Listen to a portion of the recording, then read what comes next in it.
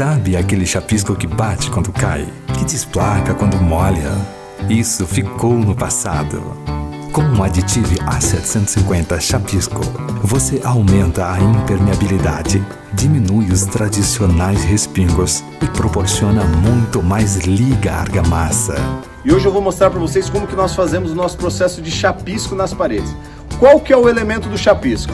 Ele é um componente com areia, cimento e um aditivo. Qual que é a finalidade dele? Ponto de ancoragem para massa de reboco.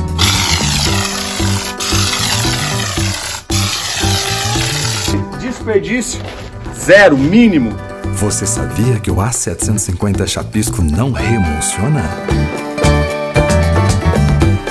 E ainda reduz a permeabilidade da argamassa. Aditive. Com você da fundação ao acabamento.